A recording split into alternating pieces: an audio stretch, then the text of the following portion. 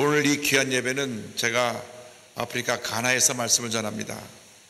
아프리카 가나 아크라에 있는 우리 교민들과 아프리카 전역에서 오신 우리 선교사님들 또 대사님 네 분 또 원주민 교회 성도님들 하고 계신 성도 여러분 큰 은혜 받으시기 바랍니다. 할렐루야. 올저녁 여러분과 함께 베드로전서 5장 7절 10절 말씀 가지고 주님께 다 맡기라 이 같은 제목으로 함께 말씀의 은혜를 나누기 원합니다. 제목을 한번 크게 따라해 주시기 바랍니다. 주님께 다 맡기라. 주님께 다 맡기라. 인생을 살다 보면 크고 작은 어려움이 우리에게 다가옵니다. 그래서 인생을 고난의 바다라고 부르는 것입니다. 바다는 끊임없이 크고 작은 파도가 밀어 닥칩니다. 풍랑이는 이 바다를 잘 항해 나가기 위해서는 이 배를 잘 인도에 갈 훌륭한 선장이 필요하고 안전 배에 타야 되는 것입니다. 우리가 인생의 고난의 바다를 지나갈 때 우리를 우리의 소원의 항구로 인도해 주실 분은 우리의 구세주 예수님 한 분밖에 없습니다. 예수님께서 우리의 배 선장이 되어 주셔서 우리 목적지인 천국 항구까지 은혜 가운데로 인도해 주실 것입니다. 우리가 예수님을 구세로 영접하고 살아갈 때 하나님께서 우리의 일생을 은혜의 길로 축복의 길로 인도해 주십니다. 오늘 특별히 사도 베드로는 문제 어렵 가운데 살고 있는 성도들에게 모든 염려를 주님께 맡기라고 말씀합니다. 염려를 다 주님께 맡기라고 말씀하고 있는 것입니다. 베드로전서 5장 7절로 말씀합니다. 너희 염려를 다 주께 맡기라. 이는 그가 너희를 돌보심이라. 이 말씀 가운데 모든 문제에 대한 답이 나와 있습니다. 모든 염려를 주님께 맡기라고 하는 것입니다. 염려, 근심, 걱정에 끊임없이 우리의 마음을 두드립니다. 특별히 마음이 소심한 사람들, 예민한 사람들은 염려, 근심, 걱정에 늘 마음이 편찮고 불안, 초조, 걱정 가운데 살아가고 있습니다. 우울증과 불면증에 시달리기도 합니다. 특별히 성격이 A형인 사람들은 늘 조심해야 됩니다. 늘 너무나 소심하고 세심하기 때문에 많은 것에 의해서 영향을 받고 낙심하기도 하는 것입니다. 믿음이란 무엇이냐? 믿음이란 주님께 맡기는 것입니다. 우리가 모든 걸 주님께 철저히 맡게 됩니다. 믿음이란 모든 문제를 주님 앞에 내려놓는 것입니다. 염려, 근심, 걱정은 우리의 믿음을 약화시킵니다. 그렇기 때문에 우리가 주 앞에 나와서 우리의 모든 무거운 짐을 주 앞에 내려놓을 때 주님께서 우리를 도우시고 은혜를 베풀어 주시는 것입니다. 우리의 생각과 꿈과 우리의 삶의 모든 걸 주님께 다 맡기는 여러분 되시기를 주님으로 축원합니다. 시편 37편 5절은 말씀합니다. 내 길을 여호와 야훼께 맡기라. 그를 의지하면 그가 이루시고 주님에게 맡기면 주님께서 이루어 주신다고 주님은 약속하신 것입니다. 무엇보다도 모든 무거운 짐을 주님의 시험 밑에 다 내려놓으시기 바랍니다. 우리가 우리 인생 스스로의 모든 문제를 스스로 해결해 나갈 수가 없습니다. 주님께 맡겨야 되는 것입니다. 시편 55편 22절은 말씀합니다. 내 짐을 여호와 야훼께 맡기라.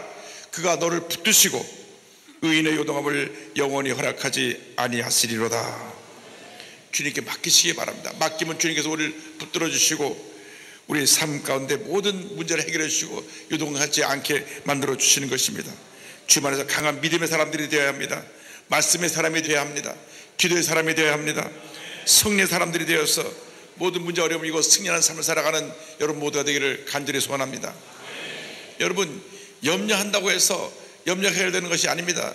염려는 염려를 낳고 근심은 근심을 낳고 걱정을 걱정을 낳는 것입니다. 그렇기 때문에 염려할 시간에 근심할 시간에 걱정할 시간에 주님께 기도하고 감사하고 찬양하며 나갈 때 하나님께서 놀라운 은혜를 우리에게 베풀어 주시는 것입니다. 빌보서 4장 6절은 말씀합니다. 아무것도 염려하지 말고 오직 모두의 기도와 간구로 너희 구할 것을 감사함으로 하나님께 하리라. 주님 말씀하고 있는 것입니다. 염려할 시간에 근심할 시간에 걱정할 시간에 기도와 간구를 드리되 감사로 주님 앞에 드리라고 말씀합니다. 그렇게 되면 주님께서 우리 마음에 평안함을 주십니다. 기도는 응답이 다가올 때까지 기도하는 것인데 마음에 평안에 다가올 때 응답에 다가온다는 사인을 우리에게 주시는 것입니다. 그래서 빌립보서 4장 7절을 말씀합니다.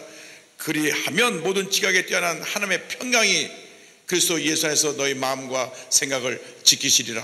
할렐루야. 기도와 감사와 찬양으로 나가면 주께서 우리 마음에 평안함을 주십니다. 그래서 우리는 우리 스스로 감당할 수 없는 모든 무거워짐을 주님께 내려놓고 맡겨야 됩니다. 그것이 믿음이고 그것이 우리의 신앙생활의 가장 귀한 모습인 것을 잊지 말아야 합니다. 언제나 기도에 힘쓰고 우리는 영적으로 껴 있어야 합니다.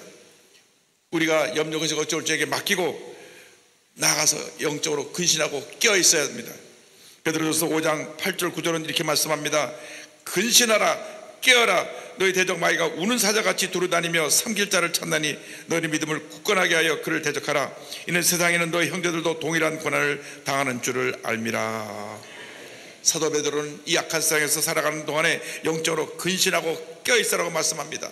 우리는 늘 영적으로 깨어있어야 됩니다 영적으로 나타져서 영적인 잠을 자면 안 되는 것입니다 사도 바울이 제 3차 선교여행 갈 때 드로아에서 말씀을 전하게 되었습니다 그가 드로아에 오후에 도착해서 밤늦게까지 말씀을 전합니다. 사도 바울의 말씀을 삼아서 수많은 사람이 모여서 그 말씀을 듣는데 그 말씀을 전하는 것이 3층에 있는 방이었습니다. 사람이 가득 차서 예배를 드리는데 말씀이 길어졌습니다.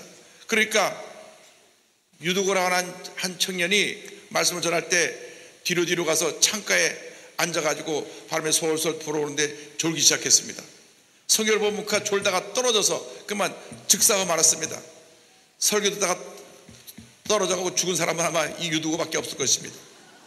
그래서 사도 바울이 뛰어내려가서 그를 안고 기도해 줌으로 그가 다시 살아났는데 유두고라고 하는 청년은 아마 그 후로 다시 예배 시간에 졸지 않았을 것입니다.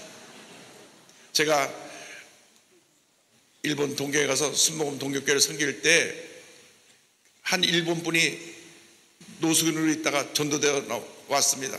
그분은 전자상해를 하고 계신 그 사장님이셨는데 사업이 망하니까 가족 보기 부끄럽다고 신주쿠 공원에서 텐트 안에서 노숙을 하고 있었습니다.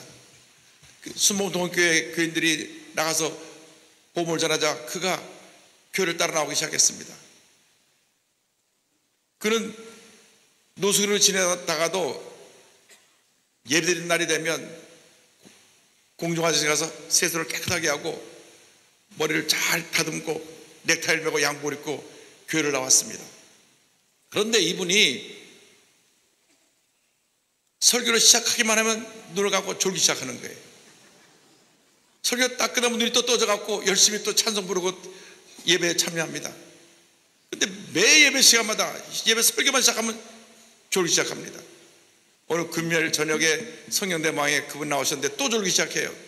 그래서 제가 설교하다가 그분을 바라보면서 크게 외쳤습니다. 여러분 예배 시간에 주무시지 마세요. 졸지 마세요. 예배 시간에 졸거나 주무시면 마귀가 와서 안수합니다. 이분이 자다 펄떡 깼어요. 그래갖고 막 손을 휘저으면서 마귀가 와서 안수한다니까 마귀를 쫓아내느라고 정신 번쩍 차리고 그다음부터는 다시 예배 시간에 졸지 않았습니다. 그분은 동경에서 대학도 나오고 영어도 잘하고 또 매너도 좋고 그랬는데 예배 시간에 늘 졸았기 때문에 신앙이 들어가지 않았습니다. 그런데 그가 영적으로 깨니까 그 다음에 은혜 받기 시작하고 그가 신앙이 자리 시작해서 귀한 성도로 자리 잡게 된 것을 제가 지켜보았습니다. 여러분 영적으로 깨어 있어야 됩니다. 영적인 잠을 자면 안 됩니다. 영적으로 깨어 있을 때 하나님의 은혜가 임하게 되는 것입니다. 영적으로 깨어 있어 감사와 찬양을 주께 드리면 하나님께서 우리의 영혼이 잘 되고 범사가 되고 강건하 되는 축복을 우리에게 넘치게 부어 주시는 것입니다. 말씀과 기도로 무장하고 우리가 영적 전쟁에서 늘 승리하며 주님께 영혼 드리는 주님의 자녀가 되어야 할 것입니다. 그러한 우리들을 주님께서 견고하게 만들어 주신다고 성경은 말씀합니다. 베드로전서 5장 10절입니다. 모든 은혜의 하나님 곧 그리스도 안에서 너희를 부르사 자기의 영원한 영광에 들어가시게 하시니가 잠깐 고난을 당한 너희를 친히 온전하게 하시며 굳건하게 하시며 강하게 하시며 털을 견고하게 하시리라. 일생을 살아가는 동안 사랑의 주님께서 우리를 지키시고 보호하시고 돌보십니다. 오늘 본 말씀 보니까 예수님이 우리를 온전하게 하시며 굳건하게 하시며 강하게 하시며 털을 견고하게 하신다고 말씀하고 있습니다. 주님이 우리를 온전하게 만들어 주십니다. 우리가 주님을 할 때 우리는 부족하지만 연약하지만 주님이 도와주셔서 우리가 주님의 선한 일을 잘 감당할 수 있도록 은혜의 은혜를 더해 주시는 것입니다. 히브리서 13장 21절은 말씀합니다. 모든 선한 일에 너희를 온전하게 하사 자기 뜻을 행하게 하시고 그 앞에 즐거운 것을 예수 그리스도로 말미암아 우리 가운데서 이루시기를 원하노라. 영광이 그에게 세세부응토록 있을지어다. 아멘. 주님께서 우리를 선한 일에 온전하게 만들어 주시고 나아가서 주님 안에서 굳건하고 강하게 만들어 주시는 것입니다. 모세가 세상을 떠나기 전에 이스라엘 백성에게 권면합니다. 신명기 31장 6절 7절입니다. 너희는 강하고 담대하라. 두려워하지 말라 그들 앞에서 떨지 말라. 이는 내 하나님 야훼 그가 너와 함께 가시며 결코 너를 떠나지 아니하시며 버리지 아니하실 것임이라 하고 모세가 여호수아를 불러 온 이스라엘 목전에서 그에게 이르되 너는 강하고 담대하라. 너는 이 백성을 거느리고 여호와 야훼께서 그들의 조상에게 주리라고 맹세할 땅으로 들어가서 그들에게 그 땅을 차지하게 하라. 여러분 주님께서 강하고 담대하시길 바랍니다. 어떠한 환란과 문제가 다가온다고 해도 절대로 나약해지지 말고 위축되지 말고 강하고 담대해서 모든 어려움을 물리치고 승리하는 삶을 살아가는 여러분 모두가 되기를 바랍니다. 가난 정보를 앞둔 요호수에게 하나님께서 강하게 말씀하셨습니다. 요호수 1장 9절입니다. 내가 내게 명령한 것이 아니냐 강하고 담대하라 두려워하지 말며 놀라지 말라 내가 어디로 가든지 내 하나님 야훼가 너와 함께 하느니라 하시니라. 주 안에서 강하고 담대하시길 바랍니다. 어떤 문제와 어려움이 다가와도 마음을 굳건하게 해서 강하고 담대하게 하여 모든 어려움을 이겨나가는 여러분 모두가 되기를 바랍니다. 우리가 우리 주변을 둘러보면 우리를 염려케 하는 것이 너무나 많습니다. 우리 어디를 가도 문제는 우리 주변을 떠나지 않고 있는 것을 봅니다. 우리 한국은 지금 경제적인 어려움, 또 정치적인 불안정, 또 북한의 그 군사력 도발 여러 가지로 어려운 환경에 있지만 그로서 우리는 강하고 담대해서 모든 어려움 물리치고 승리하는 우리 모두가 되어야 할 것입니다. 예수님께서 십자가 달리시 전날 밤 제자들에게 말씀하셨습니다. 저들이 두려워 떨고 있을 때 그들에게 주신 권면의 말씀입니다. 요한복음 16장 33절입니다. 이것을 너에게 이르는 것은 너희로 내 안에서 평안을 누리게 하려 함이라. 세상에서는 너희가 환란을 당하나 담대하라. 내가 세상을 이기었노라. 주님 말씀하십니다. 내가 세상을 이기었노라. 내가 세상을 이기었노라. 세상을 이기신 예수님이 지금 여러분과 함께하고 계신 것입니다. 여러분의 구세주가 되셔서 여러분을 돌보시고 함께하시고 지키시고 보호하시고 모든 어려움을 이기게 만들어 주시는 것입니다 여러분 우리가 어떤 문제가 생겼다고 해서 어떤 어려움이 다가왔다고 해도 스스로 약해져서 무너지면 안 됩니다. 마음을 강하게 하고 담대해서 나와 함께 하시고 나를 통해서 역사하시는 주님의 은혜를 믿고 의지하고 나갈 때 하나님의 은혜와 축복이 임하게 될 것입니다. 마음을 강하게 하고 담대해서 모든 어려움이 이고 승리하는 삶을 살아가는 여러분 모두 되시기를 주님의 이름으로 축원합니다. 주님이 우리를 사랑하십니다. 주님이 우리를 돌보십니다. 주님이 우리의 일생을 인도해 주시는 것입니다 그러므로 오늘 우리에게 주신 말씀을 기억해야 됩니다. 마음을 강하게 하고 담대히 하고 두려워하지 말고 염려하지 말고 주님 앞에 모든 걸 맡겨서 믿음의 승리의 삶을 살아가는 주님의 귀한 자녀가 되어야 할 것입니다. 우리가 일생 살아가면서 우리가 믿고 의지할 분은 우리 주님 한 분밖에 없습니다. 이상 모든 것은 다 변합니다. 우리 옛말에 열을 붉은 곳이 없고 10년간은 권세가 없다 그랬습니다. 이 세상 것들이 다 변화되는 것입니다. 그러나 영원히 변치 않는 것은 우리 주 예수 그리스도 한 번밖에 없습니다. 예수님의 능력은 변함이 없습니다. 예수님의 은혜는 변함이 없습니다. 예수님의 사랑은 변함이 없습니다. 예수님의 용서와 예수님의 치료와 예수님의 우리를 향한 놀라운 축복은 변함이 없는 것입니다. 그러므로 우리가 영적으로 깨어 있어서 구원에 있어서 우리에게 당한 모든 문제 어려움을 이겨내고 승리하며 살아가는 주님의 견일꾼이 되어야 할 것입니다. 딸의 고난을 통하여 하나님의 큰 은혜를 체험한 장종택 목사님의 간증입니다. 장종택 목사님은 은혜로다 생명과 바꾼 주의 사랑 등을 작곡하신 작곡자이자 또 하나님을 감동시키는 예배자 온유야 아빠야를 쓴 책 저자이기도 하십니다. 찬양 사역자로 사역하시던 2015년에 사랑하는 딸 온유가 8살인데 시름시름 앓더니만 그만 혼 상태에 빠졌습니다. 알고 보니 항 NMDA 수용성 뇌염이라고 하는 희귀병에 걸린 것입니다. 이 희귀병은 2010년도에 처음으로 발견된 병인데 자가 면역성 뇌염입니다. 그래서 희귀병이라 이 치료하는 특별한 그 치료법도 그때 발견되지 않아서 이 병을 고치기 위해서 의사들이 이를 위해서 많은 노력을 했습니다. 난소 정형을 제가 하는 수술을 했는데 그 결과 극한 통증과 고열로 두 달간 의식불명 상태에 빠집니다. 그 후에도 온유는 혈장 분리술만 일곱 번, 항암 치료도 다섯 번을 더 받았다고 합니다. 중환자실에 누워있는 딸을 보면서 아버지가 눈물로 기도합니다. 그런데 하나님께서 그를 회개케 하셨습니다. 간정을 보면 이와 같이 고백합니다. 하나님 살려주세요. 기도하던 중 문득 내가 나의 마음에 죄악을 품었다라면 주께서 듣지 아니하시라는 말씀이 떠올랐습니다. 그래서 사역을 하면서도 숨겨왔던 저도 몰랐던 마음 깊은 곳의 생각들, 타협, 불법, 음행 같은 것들을 회개했습니다. 이것을 내가 토해내야 하나님이 일하시니까요. 그런데 이 온유가 무시중에 빠진데 어느 날 보니까 입이 오물거리고 있어 입을 열어보니까 얼마나 고통스러웠든지 입안에 살짝 물어뜯고 입안이 온통 피투성이가 되어 있었습니다. 너무나 딸이 고통스러워서 입안에 빡 되도록 살짝 물어 뜯는 것을 보면서 하나님을 원망하며 하나님 앞에 눈물로 기도할 때 주님의 음성에 들려오고 새로운 깨달음이 달려왔습니다. 그런 고백합니다. 저는 평소 하나님에 대해 많은 고백을 해왔습니다. 하나님은 우리의 피난처시요 힘이시니 환란 중에 만날 큰 도움이시라. 그러므로 요동치 않습니다라고요. 그런데 성령께서 이제 내가 한 말에 대해 책임을 질 때다라고 하시더군요. 그래서 그 새벽에 아이를 붙잡고 고백했습니다. 하나님 고백에 책임을 지겠습니다. 감사로 다시 마음을 돌이키겠습니다.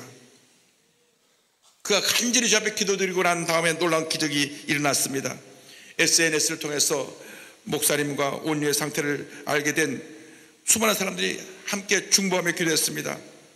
3월 20일 온유가 두 달 만에 혼상에서 처음으로 깨어나더니만 두 손을 몸체로 이렇게 말했습니다. 예수님, 예수님, 할렐루야. 이렇게 깨어난 온유가 드디어 2016년 10월 완치 판정까지 받습니다. 하나님께 모든 영광 돌립니다. 할렐루야.